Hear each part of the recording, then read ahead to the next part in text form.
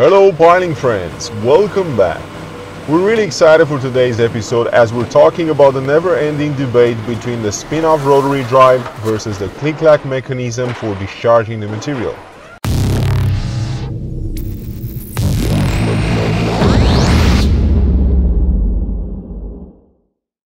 We've discussed with many people from the industry and of course, opinions are like bore holes. Everybody's got one. Therefore, we decided to run our own test in the same soil with the same rig class, with the same operator and the same tool, which is a 750mm auger in the heart of Czech Republic. The results were very surprising.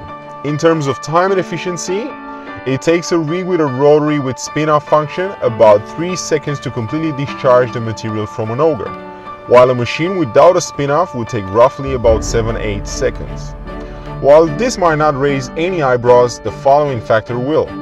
Noise reduction. Because of the constant banging of the Kelly bar due to the rotary going back and forth, the noise can be very irritating, especially if you're planning to work on some high-profile jobs in the middle of the city.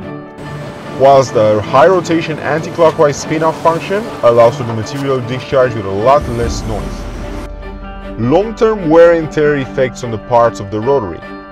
Some German fans have argued there is a certain increase in the wear and tear due to this high rotation spin-off, while others have argued quite the opposite, that there is more wear and tear on the click-clack mechanism. However, we are here to shed some light on this because neither of the two systems have any negative or otherwise effects even after very long periods of use. We have interviewed owners and plant managers that have had both types of machines for more than 15 years and none of them reported any issues as such.